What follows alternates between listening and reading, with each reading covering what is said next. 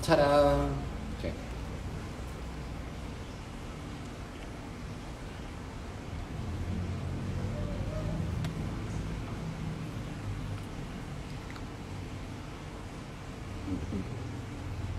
Masih menunggu sambungan. Bukan, kan sih. Udah gini aja dulu. Agak panas memang.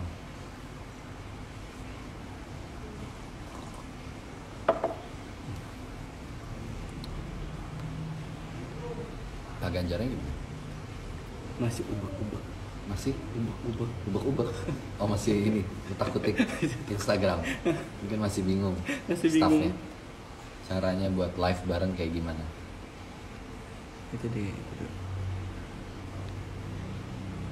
Iya belum ada nih. Belum. Udah sehat sih sama Ganjar.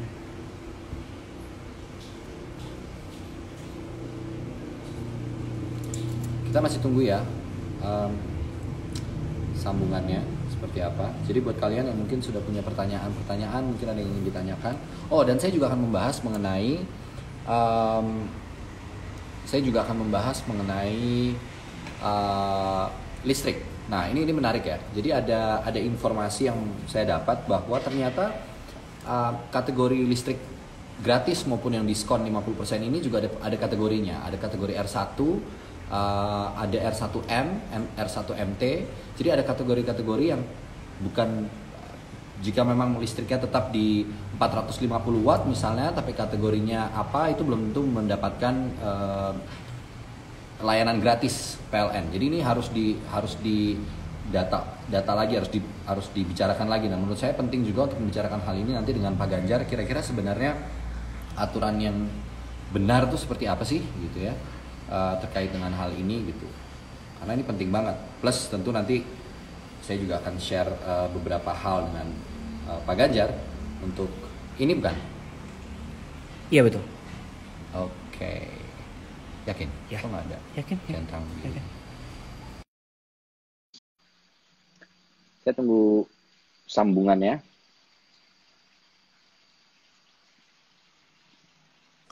Oke. Eh, ini belum ada. Halo Bapak. Ya, halo. Selamat sore. Oke, yuk. Pak Ganjar.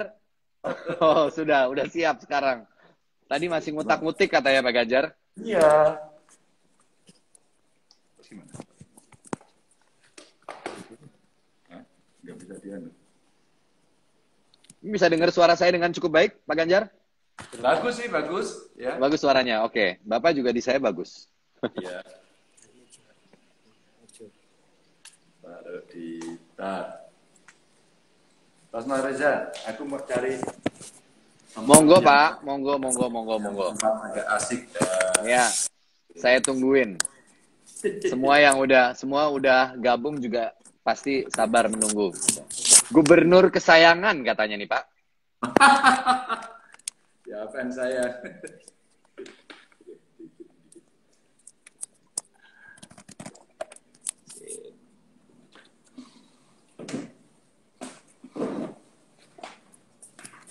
Bagaimana? Oke kali. Oke. Ya. Oke, Pak Ganjar. Eh, Ya. ya. Oke, Pak. Sip. Selamat sore, Pak Ganjar. Selamat sore. Terima kasih sudah memenuhi undangan saya untuk ber- berbincang-bincang, membagi informasi. Dengan senang hati, Mas Reza. Uh, mudah-mudahan uh, informasinya bisa bermanfaat buat publik yang hari ini sudah bergabung nih udah cukup banyak yang menitipkan salam buat gubernur kesayangan katanya nih. Tapi sebelum saya sebelum saya masuk ke pertanyaan saya mau baca dulu nih. Ini kaosnya menarik sekali nih ada statement apa? Cuci tangan terus biar nggak kena corona virus. Waduh. Karena kalau di saya kebalik Pak tulisannya. Oh iya, Di iya, kan betul, jadi kebalik. Iya. Jadi Sama, cuci tangan terus biar nggak kena corona. Oke.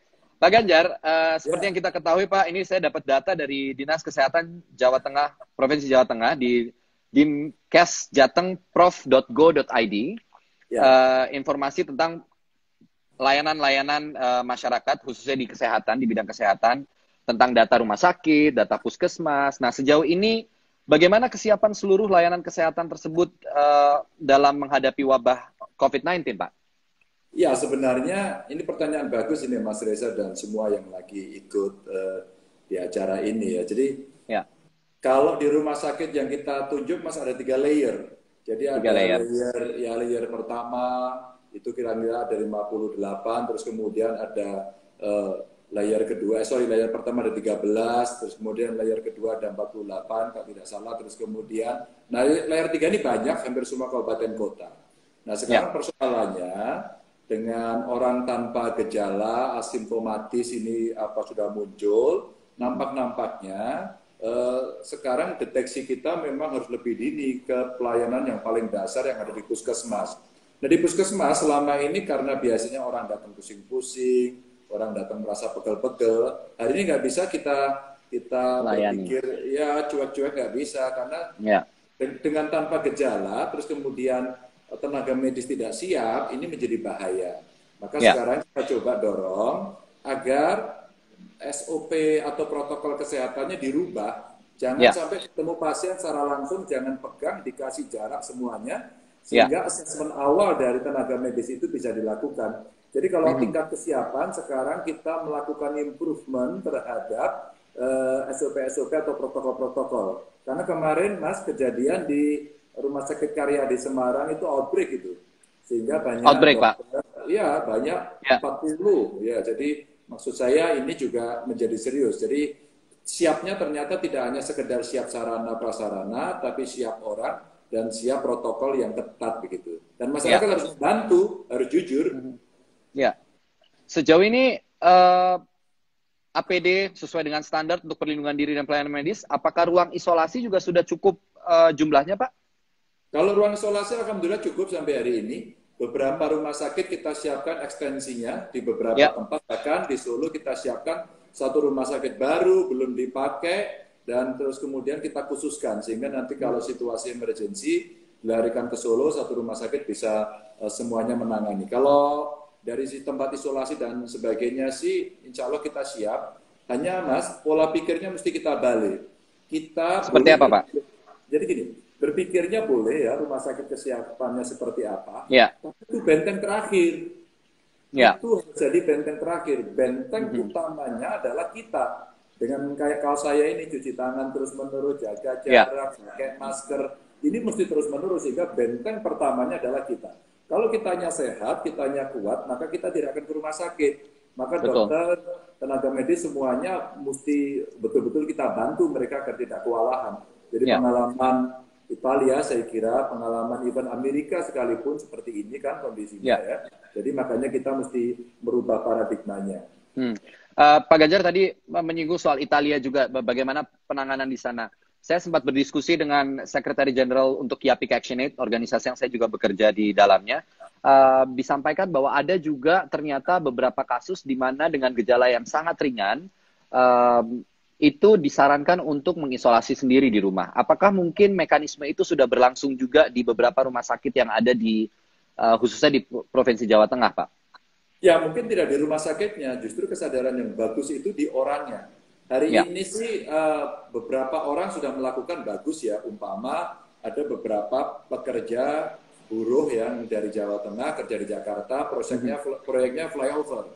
Flyovernya ya. mati sekarang berhenti dulu. Mereka balik, Mas tapi ya. kemarin ya. mereka bersepakat kurang lebih uh, berapa ya kemarin 14 orang atau berapa. Hmm. Mereka mau di kampungnya um, ber apa mengisolasi diri di satu tempat dikawal oleh kadesnya dan itu saya masukkan di ide saya maksud saya agar ada pelajaran ini siap. Seluruh desa ya. sekarang saya katakan balai desa, gedung SD atau rumah kosong punya orang dipinjam dong untuk tempat isolasi Yeah. Kalau mereka tidak bisa, ya sudah kamu mengisolasi diri, tapi kamu punya punya apa namanya eh, risiko yang besar untuk menulari orang-orang tersayang di sekitarmu. Betul. Nah, sekarang ini ada yang menarik, orang baru pulang dari Riau di Klaten, dia hmm. bagus sebelum sampai ke rumah, dia minta sama keluarganya, tolong siapkan saya tenda, taruh di pinggir sungai, dan hari ini hari ketujuh dia berada di tenda itu sendirian wow. di pinggir sungai Terus kegiatannya tau nggak mas? Ini keren banget kegiatannya. dia bersihin sungai, ngerapiin sekitarnya, dan akhirnya dibantu oleh sekitarnya. Dan dia happy-happy aja. Maksud saya seperti pengalaman Italia itu menjadi menarik, bahwa yeah. sekarang isolasi diri itu jadi lifestyle, jadi gaya. Betul.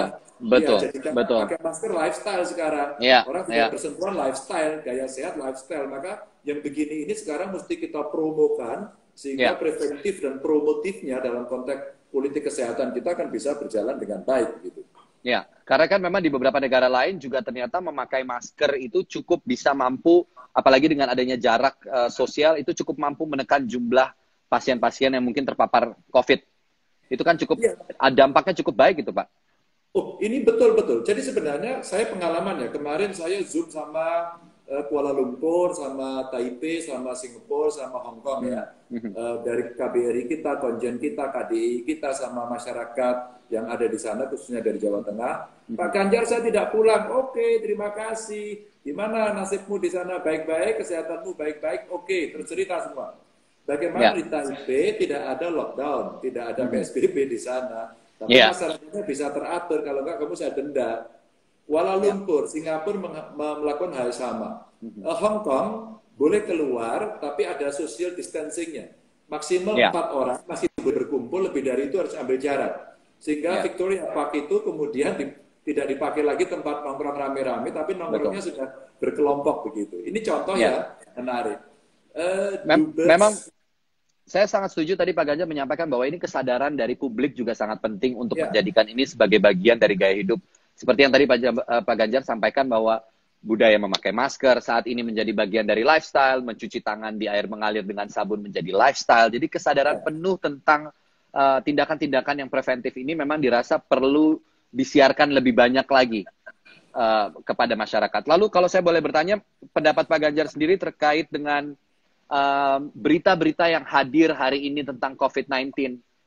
Ada ada mungkin pendapat pribadi yang ingin Pak Ganjar sampaikan apa yang sebaiknya perlu ditingkatkan atau ada mungkin sebaiknya yang perlu dikurangi sedikit? ini pertanyaannya bagus ini. Mas, awalnya seluruh berita COVID-19 ini bikin stres tau nggak? Iya. Termasuk saya, Pak. ya, work from home. Eh, Mas Reza itu pelajar-pelajar, mulai SD sampai mahasiswa, itu sampai kemarin saya bikin Zoom kepada ama mereka, anak-anak SMP, SMA itu, saya ya. tanyain, ya. kalian tuh gimana sebenarnya? Pak Ganjar kami stres Pak, gurunya ini nggak keren. Dia cuma kasih tugas terus bikin kami apa namanya kelenger di rumah. Yeah. terus kemudian saya buat edaran guru-guru, kamu kasih tugas yang menarik aja, vlog, buat hmm. cerita lucu, semua tentang COVID-19. Nah, kalau kemudian itu bisa disampaikan bagaimana mencegah, bagaimana dia yang suka riset-riset, saya kira ini akan membentuk karakter yang bagus. Atau sekedar tolong menolong memberikan makanan kepada tetangga yang membutuhkan, saya kira ini pendidikan karakter yang luar biasa. Nah, ya. bombardir berita buruk itu mengerikan. Nah, ya. sekarang ya. sudah mulai ada hasil yang sembuh lebih banyak. Terus saya ya. dulu telepon apa namanya seorang dokter yang hebat sekali uh, di Jakarta dan ternyata dia sekarang sembuh. Akhirnya yang sembuh-sembuh ini mas saya angkat ke IG saya, ke YouTube saya agar cuma belajar. Mulailah kasih semangat pada Betul. masyarakat bahwa eh ini bisa kita kerjakan, banyak yang sembuh, hebat banget. Tadi pagi saya dikirimi orang umur 70-an, ibu-ibu dari Banyumas, dia bisa hmm. sehat. Jadi orang tua pun bisa sehat. Nah, terus ya. kemudian kita kita kita bawa kepada social impact-nya. Apa itu? Yang tidak mudik nggak usah marah-marah. Yuk kita buat kreasi yuk. Yuk kita ya. bantu yuk. Yuk kita buat gotong royong yuk. Yuk ya. sekarang situ society tampil yuk. Kemudian di Dikempot konser yuk atau ya. artis-artis kayak Mas Reza kemarin eh, banyak tampil di tempat-tempat yang menyemangati. Saya kira sekarang berita-berita baik, optimis, terus menyenangkan, sedikit lucu itu saya kira bisa menghibur gitu. Ya, jadi artinya memang perlu adanya satu berita-berita yang memberikan satu hope buat masyarakat, ya. harapan, sehingga dari berita-berita yang tentu perlu kita waspadai, tapi ada banyak berita-berita juga yang menyejukkan untuk didengar gitu kira-kira ya Pak. Iya, dan kalau saya sebagai gubernur tentu harus ada berita yang yang solutif itu. Umpama ya. Mas Presiden udah kasih kasih saya kasih insentif pajak. Ini pelaksanaannya ya. gimana nih? Perusahaan Betul. bagaimana? Terus kemudian yang kemarin kena PHK ada kartu hmm. prakerja. Prakerjanya ya. kayak pelaksanaannya. Ternyata yeah. servernya kemarin terlalu penuh sehingga hang. Terus kemudian yeah. mereka yang ditagih kredit nih, saya brief lagi, hampir tiap hari kita melakukan briefing gitu kepada publik melalui medsos bahwa kalau tidak bisa kamu telepon ke sini. Bahkan yang tidak mudik di Jakarta, Mas, saya minta tolong paguyuban-paguyuban untuk membantu mendaftar. Saya komunikasi sama Gubernur DKI, Gubernur Jabar, yeah. tolong dong kita saling bantu membantu, maka memberikan hopes, harapan itu tadi kita tingkatkan bahwa kita bisa kok menyelesaikan. Meskipun yeah. tidak maksimal, tapi optimalnya bisa kita kejar dengan kesungguhan dan ketulusan. Ya, Pak Ganjar, uh, terkait dengan mudik, kita berbicara dengan soal mudik tadi, uh, ada keputusan terbaru soal larangan mudik. Iya, iya, iya, iya. Jadi dari himbauan sekarang ada larangan mudik. Nah, ini Pak Ganjar menyikapi persoalan ini bagaimana nih? Apakah itu menjadi sebuah bentuk uh, kesadaran yang akhirnya muncul bahwa memang sepertinya larangan ini sudah perlu diambil atau memang itu sengaja didesain step by step untuk tidak menimbulkan kepanikan publik? Uh, saya tidak tahu, tapi yang pertama pada saat kita ratas dengan presiden di kabinet kita kita diikutkan para gubernur kita dengarkan pendapatnya maka pada saat itu rasanya tidak mungkin kalau kita melarang langsung memang ya. karena kepanikan kesadaran internalisasi kesadarannya belum nah pada saat itu entah ini dibuat stagingnya begitu atau memang kemudian dilakukan tapi ada quality improvement improvementnya ya. kemudian dilakukan eh Oh setelah dievaluasi masih ada toh yang ngeyel, masih ada hmm. yang nekat, masih ada akhirnya pulang tidak mau mengisolasi bahkan marah-marah. Ada Betul. semuanya. Nah setelah ya. itu saya senang sekali hari ini Pak Presiden tegas gitu menyampaikan bahwa sekarang dilarang. Tapi Mas, ya. buat saya ini menggembirakan. Artinya ya. untuk politik kesehatan seluruh uh, manusia yang ada di Indonesia -hmm. ini penting. -hmm. Nah sekarang -hmm. yang saya pikirkan Mas Reza, ini mereka yang betul-betul tidak bisa hidup, di sana upahnya harian, ini yang mesti kita pikirkan. Nah kalau ya. mereka kemudian sudah tidak bisa hidup, terus kemudian dia tidak pulang, rela berkorban untuk bangsa dan negara tidak pulang, ya ayo kita bantu. Maka saya ya. nyiapin tim sekarang mas, nyiapin tim jikalau tanggung jawab moral saya sebagai orang Jawa Tengah dan banyak warga saya yang mengais rezeki di sana nggak bisa pulang. Hmm. Hmm. Rasa-rasanya buffernya udah kita siapkan sekarang. Kita cari relawan, sudah ngumpulin, yang penting yeah. bisa makan. Saya nyiapin kalau nanti di sana uh, apa namanya butuh bantuan, mungkin kita perlu dapur umum di sana. Kalau Baik. nanti butuh apa akomodasi, mungkin rumah-rumah teman-teman kita, gedung-gedung kita, taman mini, atau barangkali tenda skenario terburuknya mesti kita ya. siapkan. Sehingga kenyamanan-kenyamanan ini mesti kita bisa berikan kepada masyarakat yang ada eh, di Jabodetabek. Maka ya. saya senang dengan keputusan ini. Secara ya. politik kesehatan ini bagus banget, tapi social impact, psychological impact-nya ini mesti kita siapin untuk kita bantu. Ya, supaya bisa lebih terukur penanganan-penanganan apa yang bisa diambil ya Pak. Terima kasih buat sharing soal uh, terkait dengan mudik ini. Uh, Pak, di Jawa Tengah cukup banyak pabrik garment besar, farmasi, ada kosmetik. Sudah ada kerjasama mungkin dalam bentuk CSR untuk company-company ini atau perusahaan-perusahaan ini membuat misalnya APD, hand sanitizer, atau kebutuhan-kebutuhan uh, yang dibutuhkan oleh teman-teman medis maupun untuk masyarakat umum dengan mungkin harga yang lebih terjangkau atau malah mungkin gratis. Sudah ada kerjasama dalam bentuk itu, Pak? Well, Alhamdulillah, Mas. Awal-awalnya kita memang grogi, semua panik begitu saya lihatnya. Ya. Juga harganya mahalnya minta ampun Betul. kemudian ya seperti rumah kena gempa, itu batu batanya pasti berhancur dulu, tapi dia belum berhenti dan bergerak seperti gempa susulan.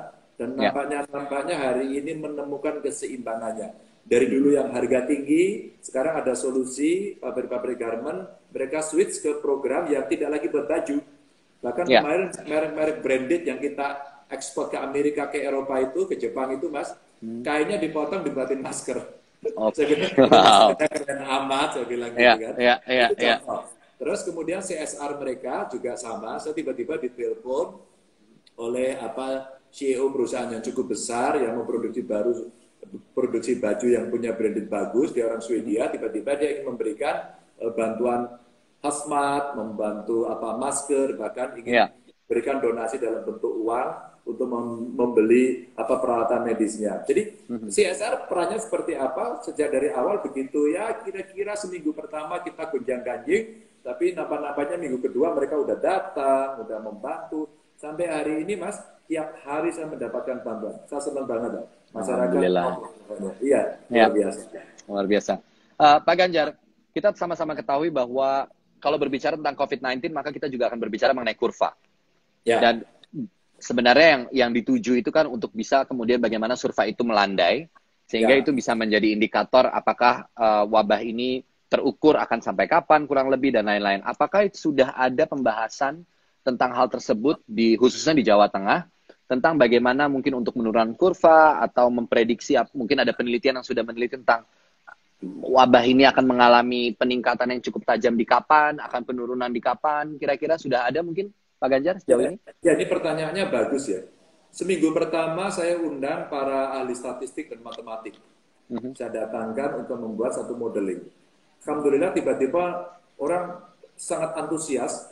Dewan Riset daerah saya minta untuk datang, saya suruh mencari dan akhirnya begitu datang ternyata teman-teman lama saya. Saya senang sekali. Terus ya. akhirnya saya sampaikan, saya omongkan uh, apa namanya di perguruan tinggi besar. Saya dapat lagi masukan teman-teman Jakarta bantu saya sehingga semua saya overlay dan awal-awal Mas Reza kita punya apa uh, teori yang agak mengerikan saat itu. Okay. Karena kalau kalau kita tidak terlalu serius menangani ini, kalau kita biasa-biasa saja, effort kita gitu-gitu aja, maka ini akan naik terus dan sampai September. Waduh, okay. mengerikan amat ini. Lalu yeah. kemudian pola-pola intervensi untuk melandaikan kurva itu kita lakukan dengan promotif, dengan preventif, dengan edukasi, dengan beberapa tempat terpaksa represi. Nah itu yeah. upaya kita untuk melandaikan. Namun demikian, faktor eksternalnya ini membayangi apa itu zona merah, mana zona merah, Jabodetabek, luar negeri, dan beberapa daerah yang memang pariwisatanya saat itu tinggi. Ya. Maka keputusan pertama untuk pelandaian dulu, stop pariwisata dari luar negeri. Setelah mm -hmm. itu jalan sedikit lagi, stop tutup pariwisata. Cepat banget mas, dalam dua hari kami menutup 400-an tempat pariwisata. Dalam dua hari. Makanya ini memang gonjang ganjing ekonominya sudah kita mitigasi. Lalu ya. kemudian ya. apalagi social physical distancing kita lakukan. Teman-teman dari Singapura menyampaikan kepada saya, Mas Ganjar siapin stagingnya ada empat dan terakhir pakai masker. Enggak hmm. kelamaan maskernya mau saya pakai sekarang aja. Karena sebenarnya penyebaran dengan droplet hari ini itu kalau ditahan dengan masker lumayan menghambat. Ya, kalau ya, pihak betul. depan kita juga sudah masker, maka insya Allah itu tertutup. Gak usah pakai ya. masker medis deh, pakai masker ya. buatan sendiri. Maka di YouTube saya, di IG saya, saya bilang, saya buat sama istri saya, begini loh cara buat masker paling gampang. Saudara-saudara kira-kira begitu. Ya. Akhirnya sekarang mulai gerakan, semua membuat, dan sekarang butuh masker, masker, masker. Nah, Betul. dengan pelandaian itu, kemudian uh, mulai dihitung, nampak-nampaknya ini mulai ada hasil. Maka hmm. senarionya maju sampai Juni. Nah, Juni Baik. ini agak agak moderat kajian dari UGM, UI, ITB, IPB, dan tim dari Kemenko Maritim, ternyata nampak-nampaknya Juni yang paling paling ya masuk akal lah gitu ya. Syukur-syukur ada yang lebih ekstrim lagi kalau mau bisa dilakukan ini sampai Mei. Tapi effort kita ya. mesti tinggi banget. Nah, hmm. ini banyak teori makanya saya sampaikan, loh, kalau ini Jakarta balik, mudiknya balik, ini bisa mundurnya betul-betul sampai September loh gitu. Maka saya senang betul hari ini Pak Presiden membuat statement itu, maka dengan segala risiko dan mitigasinya kita siapkan. Jadi soal kurva seperti itu. Uh, Pak, untuk alokasi anggaran, Jawa Tengah saya dengar mengalokasikan cukup besar, 1,4 triliun. Ya. Yeah. Betul Pak. Ke mana saja ya. kira-kira uh, alokasinya dan kira-kira ada prediksi untuk penanganan wabah berapa lama itu dengan anggaran seperti itu Pak? Ini pertanyaan juga bagus. Jadi awalnya Mas, seluruh daerah itu anggarannya adalah anggaran yang tak terduga. Itu cadangan. Biasanya rata-rata hmm. ya, kalau kayak APBD kami cuma 50 miliar begitu ya. Ada yang 30, ada yang 70. Hmm. Rata-rata gitu, tidak ada sampai 100. Ya. Mungkin DKI yang sampai 100 karena DKI besar ya APBD-nya. Nah pada saat itu saya menghitung, loh kok daerah-daerah belum menyampaikan. Lalu saya hitung, tolong dong cari duit satu triliun. Nah pada saat satu triliun dicari, ternyata malah kami dapat 1,4 triliun. Baik. Maka kemudian segera saya launch pagi harinya. Kami siapkan hmm. 1,4 triliun. Hmm. Saya sudah menduga besok pagi pasti seluruh daerah sudah akan mengeluarkan dan angkanya lebih tinggi. Ini menciptakan hopes tadi, menciptakan uh, apa persepsi publik bahwa pemerintah itu siap. Hari ini kita cari lagi duit, Mas, karena APBD kita tidak terlalu tinggi, kita cuma 29 triliun, maka ya. per hari ini kita dapat duit 2,2 triliun. Mm -hmm. ya. 2,2 triliun, triliun itu kita siapkan untuk apa saja? Pertama jaring pengaman sosial. Jaring pengaman ya. sosial itu kita siapkan, saya memprediksi lah, ya average itu angkanya kurang lebih ya sekitar 1 1,7 lah kira-kira. Ya. Kira-kira 1,7 juta yang saya siapin untuk di cover jaring pengaman sosial. Ya. Lalu ada jaring pengaman ekonomi untuk kita hmm. ciptakan kurva kedua, Mas. Jadi kalau hmm. sekarang kurva satunya ini turun terus, orang ya. sekarang jobless, orang tidak ada uh, hopeless juga di rumah, hmm. dan dia udah kita survei katanya nggak mau balik ke Jakarta lagi gitu. Wah ini akan menjadi beban kemiskinan, pengangguran yang mesti kita siapkan. Ya. Maka kurva kedua ini adalah jaring pengaman ekonomi pelatihan, hmm. stimulus, agar minimal tiga bulan ke depan dengan jaring pengaman sosial ini mereka hidup, terus kemudian eh, selama tiga bulan ini juga paralel kita latih, sehingga harapan kita bulan keempat bisa jalan. Namun ya. demikian, ada yang dari pusat, ada dari provinsi, ada dari kabupaten. Kita hmm. menyiapkan tentu senario satu tahun anggaran sampai dengan Desember. Satu tahun anggaran ya. satu tahun anggaran sampai dengan Desember. Tapi setidaknya masa kritis ini kurang lebih tiga bulan ini yang kita harapkan itu tadi kurvanya juga sudah mulai melandai. Maka ya. ini hari ini kita prioritaskan. Yang terakhir setelah jaring pengaman sosial, jaring pengaman ekonomi yang terakhir adalah uh, untuk pemenuhan kebutuhan kesehatan. Yang ini yang rumah sakit rumah sakit termasuk ya insentif para dokter. Ya. Pak Ganjar, uh, untuk melakukan pengawasan terhadap ang ke mana anggaran-anggaran ini akan diberikan dan lain-lain, tentu uh, publik juga mungkin bagaimana bisa mendapatkan uh, informasi tentang atau membantu untuk dalam pengawasan anggaran tersebut. Adakah partisipasi publik yang mungkin uh, turut serta dalam pengawasan anggaran ini, Pak, Pak Ganjar? Ya, dalam konteks ini partisipasi publik tidak terlalu tinggi. Karena apa? Cara kita tidak seperti cara pada umumnya. Ini mm -hmm. cara extraordinary, bukan reguler. Nah, kenapa yeah. saya katakan demikian? Biasanya kalau yang sifatnya reguler, mereka ikut musrenbang, ikut mengawasi. Hari ini tidak, Mas. Kita namanya mendahului anggaran. Karena mendahului ya. anggaran yeah. kita potongi sendiri. Nah, setelah kita mm-hmm. potongi sendiri, kita punya. Nah, publik sekarang kita berikan ruang. Kalau Anda ingin melakukan partisipasi, saya buka ruangnya. Mana kemudian yang akan dilakukan. Dan saya sendiri melakukan kontrol pada mereka. Saya ingatkan dari awal bahwa ini kondisi darurat. Kondisi hmm. darurat itu paling gampang dikorupsi. Hati-hati. Ya. Ancaman dalam keadaan bencana orang korupsi itu hukumannya mati. Saya sampaikan hmm. peringatan keras. Alhamdulillah, ya. baik dari KPK, Inspektorat kita udah nyiapin prasyaratnya. Hmm. Maka sekarang hampir semua belanja-belanja yang mau kita lakukan, hmm. Itu saya tempel terus dengan Inspektorat saya, terus kemudian apa namanya ya. BPKP-nya, termasuk kemudian KPK ya apa yang ada di KPK kami komunikasi juga dengan intens. Nah mungkin itu tadi yang publik kalau uh, mau melihat dan sebagainya saya uh, sangat terbuka pada soal pengawasan ini. Hmm. Sudah cukup uh, tepat sasaran kah Pak? Selama ini bantuan-bantuan apalagi juga datang dari pemerintah pusat dan koordinasi dengan uh, Pemprov sendiri untuk Kalau kita bicara tepat sasaran 100% tidak, pasti ya. tidak akan tepat karena ya. tingkat iri. Jadi ada iriisme. Hmm. iriisme itu di desa. Mas ya. saya sampaikan ya. Jadi PKH itu diberikan dalam jumlah yang berbeda dengan kriteria khusus ada tidak ya. ada tidak ada, ada tidak ada COVID. Hmm. Itu PKH. Lalu kemudian ada bantuan e, jaminan dari pemerintah untuk jaminan hidup itu dari apa Kemensos.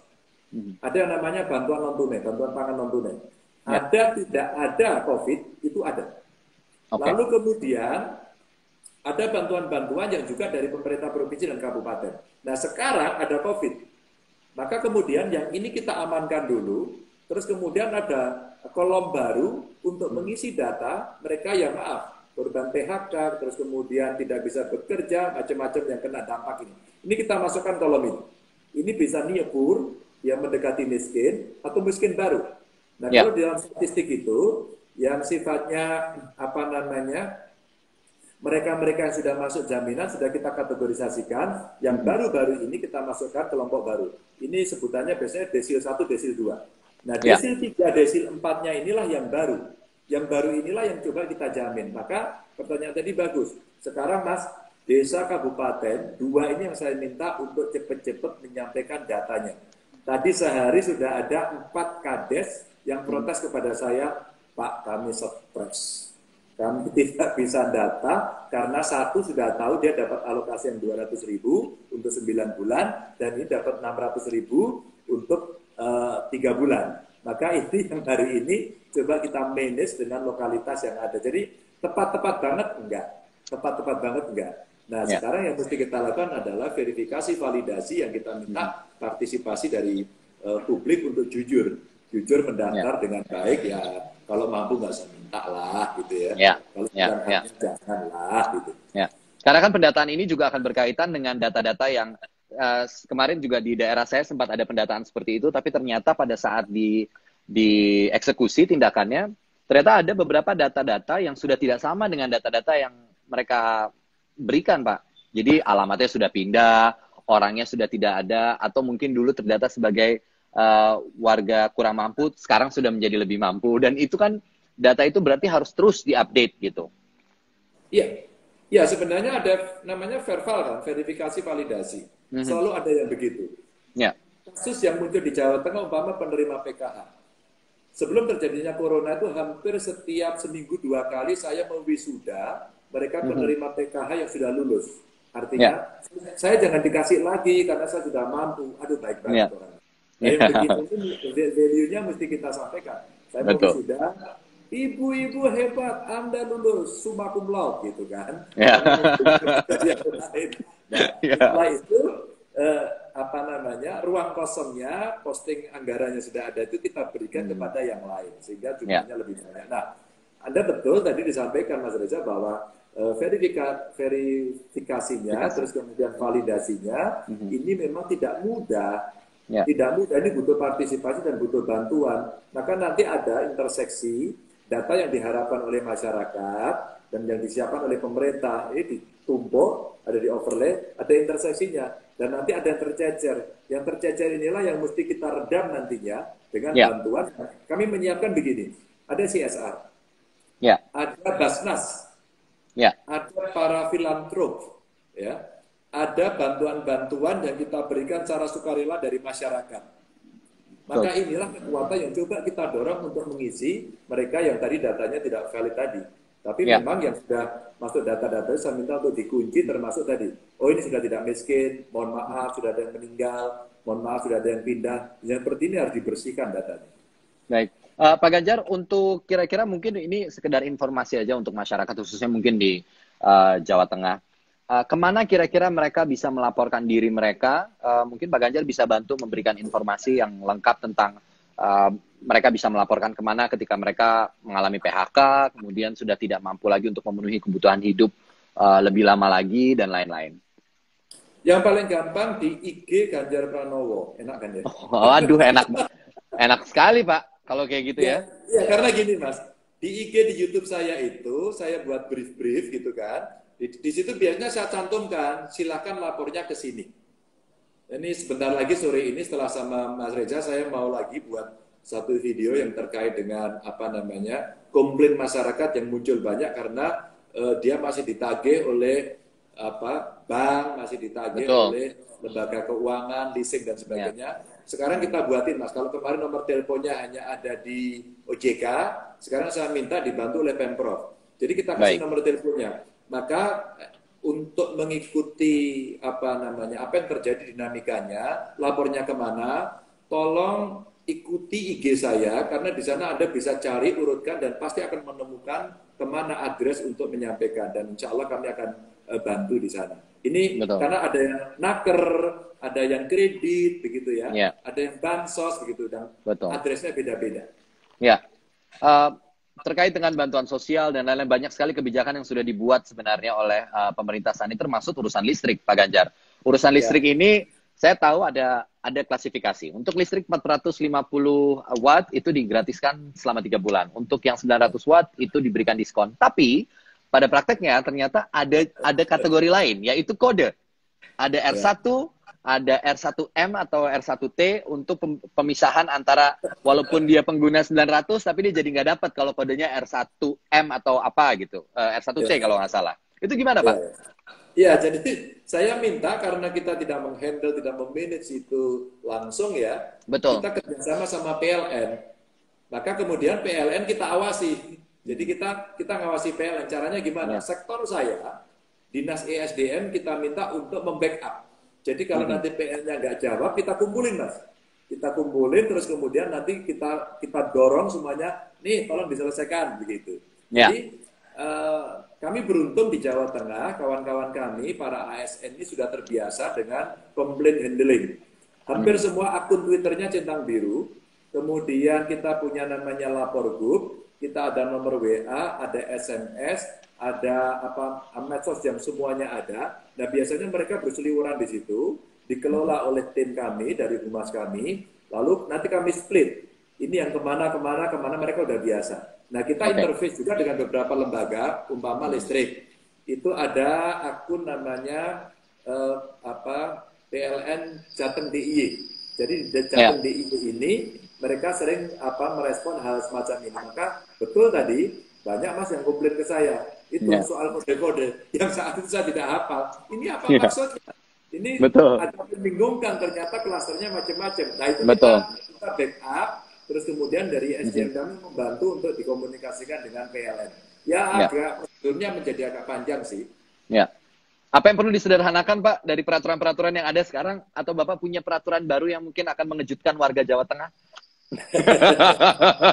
Tidak ada yang perlu terkejut sebenarnya. Yang paling gampang dibutuhkan hari ini adalah tempat komunikasi. Address untuk ngomong, untuk telepon, untuk WA. Kenapa saya katakan seperti itu? Karena hari ini zamannya zaman itu. Jadi ya. social physical distancing semua ada di rumah, jaga jarak, maka teknologi ini menjadi penting. Maka sebenarnya tidak perlu dibuat kejutan. Eh, daerah, provinsi, sektor, Anda cantumkan nomor teleponnya, bikin call center di situ, Anda taruh orang, jawabin sederhana itu saja. Pasti masyarakat ya. senang. Saya melakukan itu sudah tujuh tahun soalnya. Sebagai gubernur, saya lakukan itu kayaknya kok mereka senang dengan cara itu.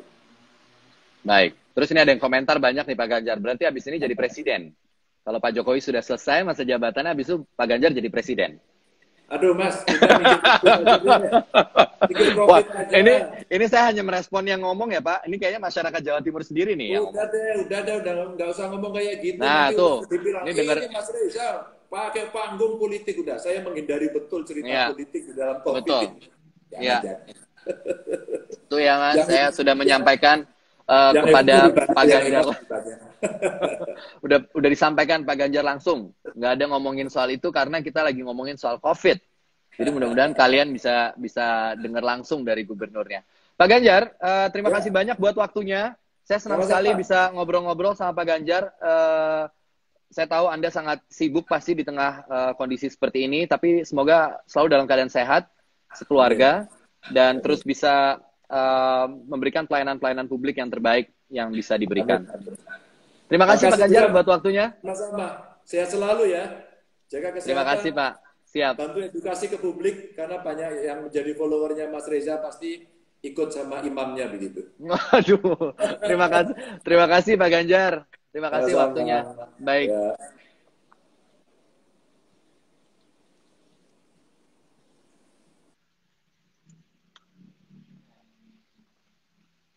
Nah, itu tadi uh, sudah selesai saya ngobrol-ngobrolnya sama Pak Ganjar. Uh, banyak sekali yang sudah disampaikan oleh beliau terkait dengan kebijakan-kebijakan khususnya di daerah Jawa Tengah. Jadi kalau tadi saya bertanya soal bagaimana informasi yang bisa diakses oleh masyarakat kira-kira untuk mendapatkan informasi lebih detail, saya nggak dijawab soal harus ke mana, harus ke mana, harus ke mana, enggak. Langsung ke IG saya kata Pak Ganjar ya. Jadi IG-nya Ganjar uh, underscore Rano. Nah, itu langsung diakses di situ, bisa bertanya apa saja dan bisa segera mendapatkan respon kalau menurut Pak Ganjar karena semua informasi uh, tentang COVID dan lain-lain itu ternyata sudah cukup banyak diberikan oleh uh, Pak Gubernur. Jadi mudah-mudahan um, obrolan kita tadi bisa cukup bermanfaat. Ada beberapa informasi-informasi yang bisa bermanfaat buat khususnya para warga uh, Jawa Tengah yang mendengarkan obrolan saya tadi. Dan nanti di jam 5 sore, saya akan ngobrol-ngobrol dengan salah satu uh, figur favorit saya juga, yaitu Najwa Sihab. Kita akan ngobrol uh, sama Nana nanti di jam 5, obrolannya seputar apa, tunggu aja. Uh, update-nya, ngobrolin tentang apa. Dan sekarang saya gantian pamit dulu. Tadi Pak Ganjar udah pamit, sekarang saya mau pamit dulu. Sampai ketemu lagi nanti di jam 5 sore berbincang-bincang sama Najwa Sihab. Thank you udah dengerin semuanya. Sekali lagi, um, kalian bisa ikut membantu uh, berkontribusi di tengah kondisi COVID uh, di kitabisa.com garis miring pejuang corona untuk membantu uh, penyediaan uh, peralatan uh, pelindung diri, alat pelindung diri dan lain-lain untuk teman-teman medis ya di garda depan, silahkan di kitabisa.com garis miring pejuang corona.